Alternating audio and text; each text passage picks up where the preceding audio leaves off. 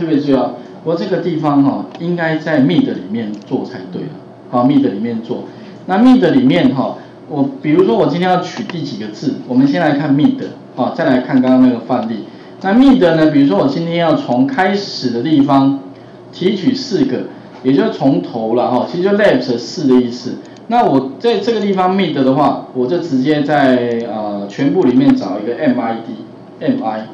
mid，mi，mid。那特别注意哈，mid 跟那个 left 跟 right 很像，只是说呢，它可以取中间的啊中间的。那多会会多一个参数，所以第一个呢也是一个字串。那 star number 就是从第几个字啊，从第几个第几个字呢？从第一个字取几个字呢？取四个字。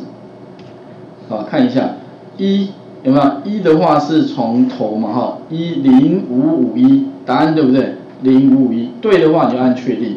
所以有的时候特别注意一下预览功能哈，这个预览功能非常的重要，你也不要急着按确定。我看很多同学都很急着想要按确定哦，看一下看清楚再按确定。OK，那没有问题的话呢，我们就按确定，没有问题。不过哈这一题你会发现，嗯，老师为什么变这样呢？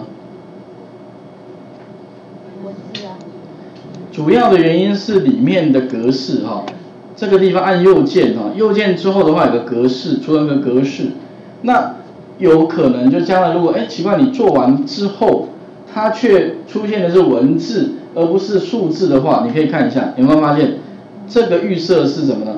预设是文字，那请你把它改为通用格式，OK，把它改回按确定，改回按确定之后呢，那你想说哎老师为什么没有跟动？其实哦。它一定要在怎么样呢？进到里面再打勾一下，它才会正常。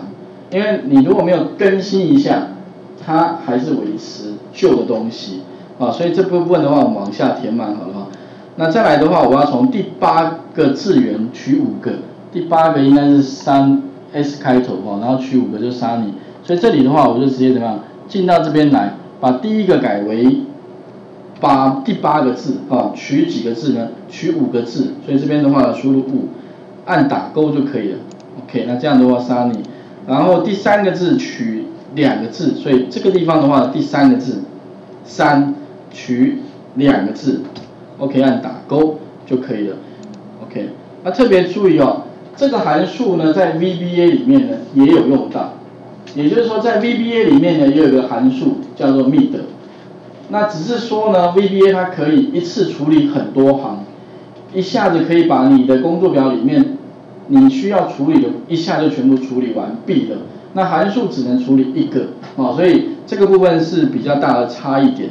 好，那这个部分做完之后的话，啊，请各位也思考一下，如何可以利用那个 mid 函数取得第二个字，并且判断出性别，也就是你这个地方判断完毕之后的话。往下填满，一次可以完成，OK，好，把画面还给各位一下。